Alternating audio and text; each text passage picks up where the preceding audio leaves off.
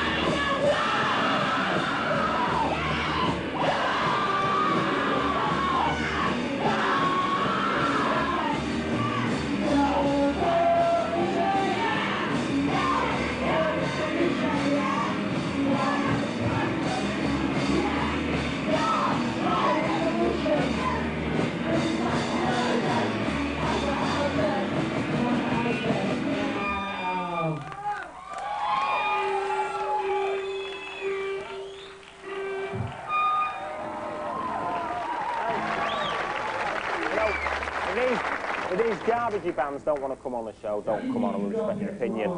But uh, lovely stuff.